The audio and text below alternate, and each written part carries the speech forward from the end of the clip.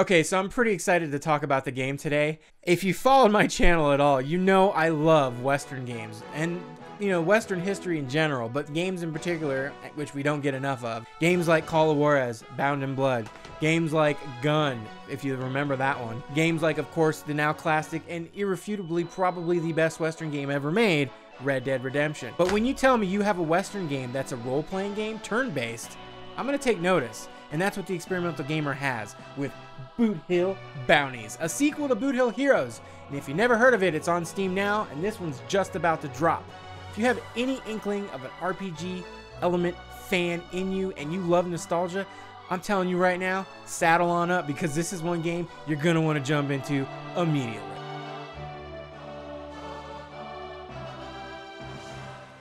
Now, Boot Hill Bounties does take place shortly after the end of the first game with the same core characters, but if you never played the game, don't worry. The game will do a really good job of catching you up on the background and history of these characters. And soon enough, they're going to be going after the Saints gang once again because there's bad guys out in the old Wild West, and partner, you got to take them down.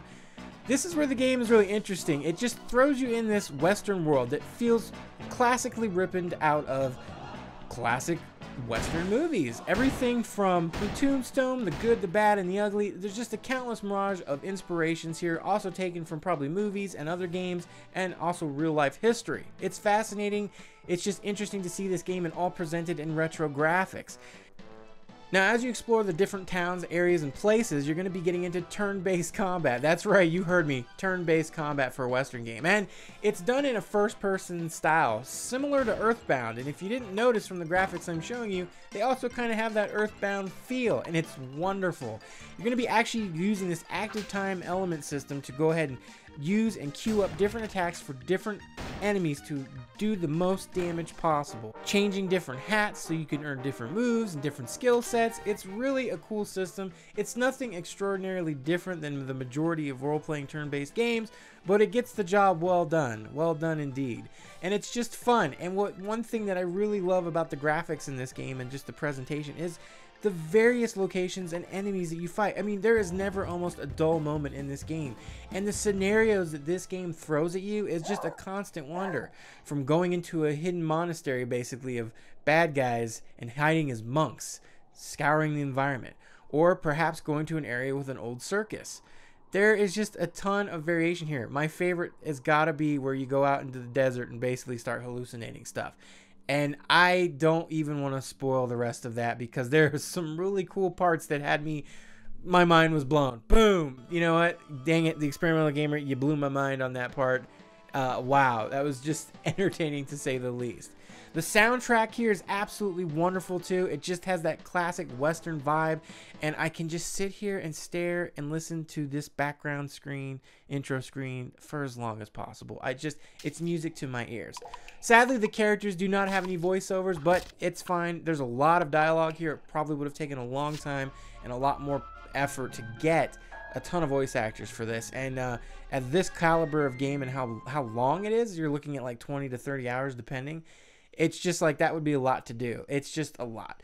But yeah, you're going to be going through these different areas doing this turn-based combat and honestly like thinking on this game and playing it my experience it just gives me that feeling of finding that undiscovered retro RPG that was sitting on the back shelf that you're just sitting there and one day you're maybe looking through your shelf and it's like maybe it was hidden in the wall and it's just like the wall parts oh, and there it is boot hill bounties right there for you and i just i can't gloat enough about this game because it just hit me in all the right places. The feels the western theme which they absolutely nail out of the park the variation from mines like i said mining areas to the the, the circus to the hallucinogen hallucinating in the desert, all of this stuff. It's like there's just again, there's like never a dull moment.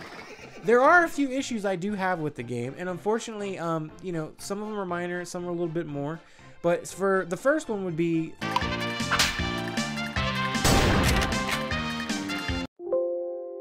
the crashes. I've had quite a few crashes, but what's really cool is uh, David has an email, so if it crashes, there's a there's a crash log, and actually everything I've dealt with so far, I've sent him that crash log, and he's he's come right back, and he's pretty much fixed it ASAP and put a new build out on Steam. So that's great to hear, man. I, I really appreciate that. Uh, it you know it's it's a little frustrating because I'm liking this game so much, but you're on top of it, and kudos to you for that.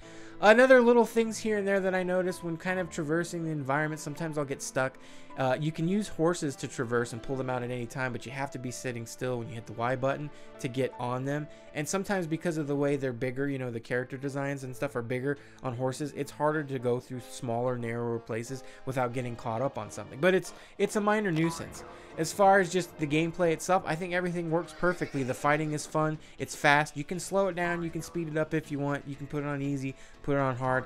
All just depends how you want to play the game. The, the mechanics in the game too, from farming and harvesting some things around the environment to cooking to uh, uh basically imbuing your weapons with different uh, abilities depending on uh, what uh, abilities or I should say what items that you use on it. It's just a really interesting thing. And then even the one character Doc, he can actually heal you or learn ways to heal your characters when you go camping. And yeah, there's camping in this game. You can go to night and go to sleep, talk with your people.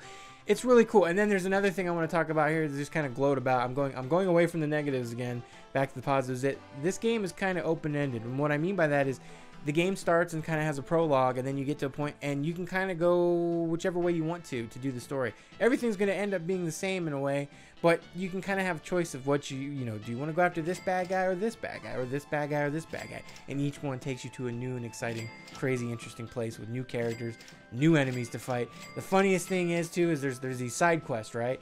And one of them I found out by I was looking in one of the newspapers that come out, and it talked about a town being attacked by a vicious strain of rabies. So I went traversing into that town, and there's enemies, uh, animals that are rabies. They're just they're foaming at the mouth, and that I don't know, it just cracked me up.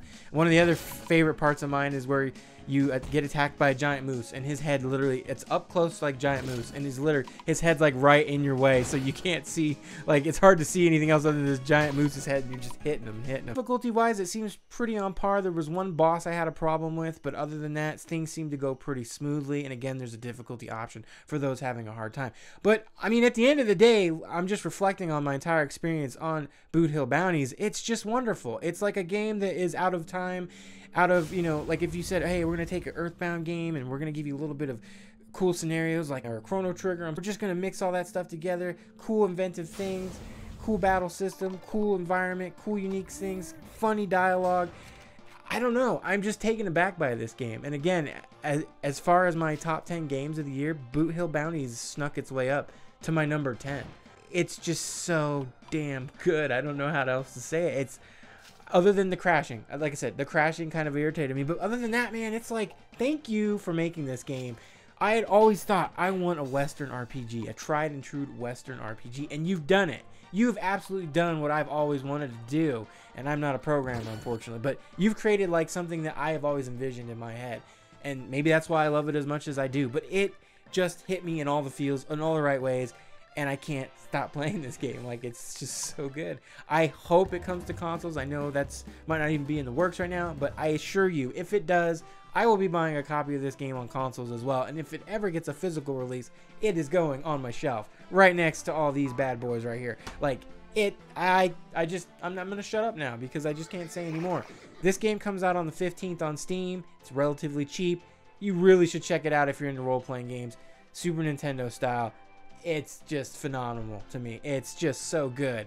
Uh, anyway, thanks guys for watching. If you like this, please give a subscribe. Please give uh, the Experimental Gamer support. Purchase the game, and this review was actually a code was provided by them. So thank you for that.